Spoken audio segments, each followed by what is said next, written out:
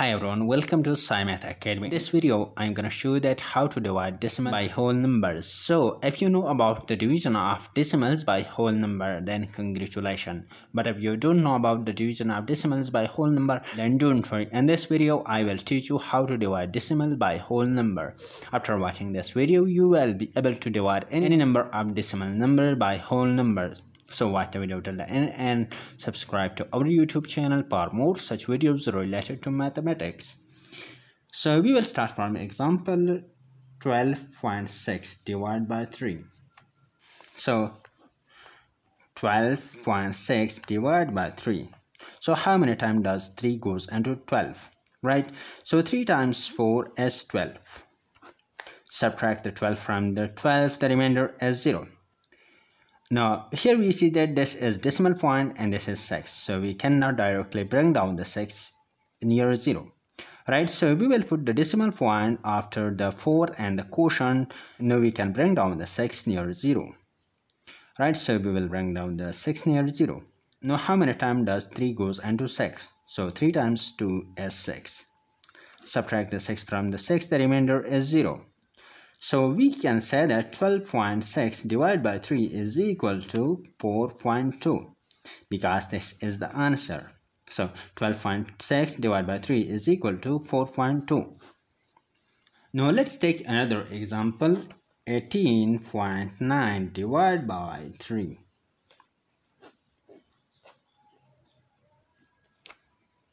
Now how many times does 3 goes into 18? So 3 times 6 is 18 Subtract the 18 from the 18, the remainder is 0. Put the decimal point and the quotient just above the decimal point in the dividend, right? Now bring down the 9 down. Now how many times does 3 goes into 9? So 3 times 3 is 9. Subtract the 9 from 9, the remainder is 0. So we can say that 18.9 divided by 3 is equal to 6.3. Now viewer pause the video and comment answer of 516 divided by 2 in the comment section. Right. Solve this question and write the answer in the comment section. Now let's we try another example 0.84 divided by 6 right so we will divide 0.84 by 6 and we will put the decimal point according to the dividend and the final answer. Suppose that 84.84 is just like whole numbers right? So 84 divided by 6 so how many times does 6 goes into 8 so 6 times 1 is 6 subtract the 6 from 8 the remainder is 2 bring down the 4 near 2 which makes 2 24 now how many times does 6 goes into 24? So 6 times 4 is 24. Subtract the 24 from 24, the remainder is 0. So whenever we are dividing 84 by 6, the answer is 14. So we can say that 84 divided by 6 is equal to 14. Here we see that we have divided 0.84 by 6. And there are two decimal places and 0.84, right? So we will carry the decimal point and the answer two places from right to the left, right? So this is the one place is this and this is the second place, right? So when we are dividing 0 0.84 divided by 6, which will be equal to 0 0.14. Let's try to solve this question another way. So 0 0.84 divided by 6 right? So we will multiply 6 with certain a number such that their product is either equal to 0.84 or less than 0.84 so we will multiply 6 with 0 so 6 times 0 is 0 subtract the 0 from 0 and we cannot directly bring down the 0.84 down right? We will put the decimal point after the 0 and the quotient just above the decimal point in the dividend right? Now we can bring down the 8 down right? And subtract the 0 from 0 and bring down the 8 uh, near 0 right?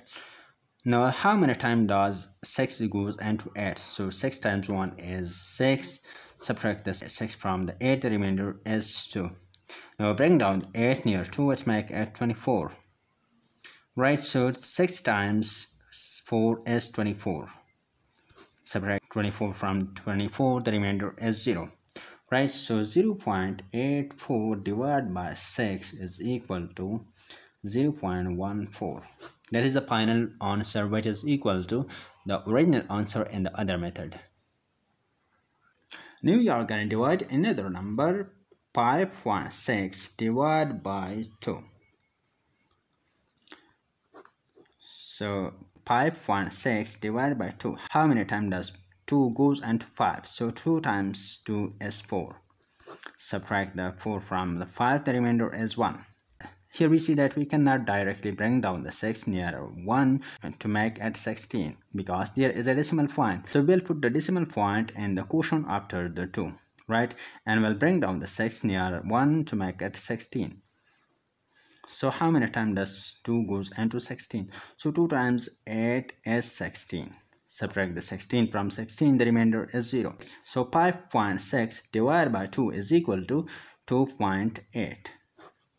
Now I'm gonna solve another example 0 0.024 divided by 8 so 0 0.024 divided by 8 here we see that 0 0.024 is less than 8 and we cannot directly divide this number by the 8 right? We will multiply 8 with such a number such that their product is either equal to this number or less than this number right? So we will multiply 8 with 0 so 8 times 0 is 0 subtract the 0 from 0 the remainder is 0 right? We cannot directly bring this uh, zero down because there is a decimal point. So we'll put the decimal point in the quotient after the zero and bring this zero uh, near this zero right?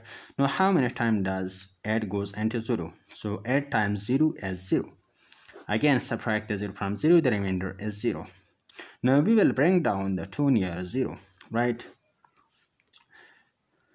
again here we see that 2 is less than 8 so we will uh, multiply 8 with such number such that the product of 8 and that number is either equal to 2 or less than 2 so we will multiply 8 with 0 so 8 times 0 is 0 right? Subtract the 0 from 2 the remainder is 2 right? Now bring down this 4 near 2 to make it 24 now how many times does 8 goes into 24 so 8 times 3 is 24 subtract the 24 from 24 the remainder is 0 so we can say that whenever we are dividing 0 0.024 by 8 the answer will be 0 0.003 now i'm gonna solve another example.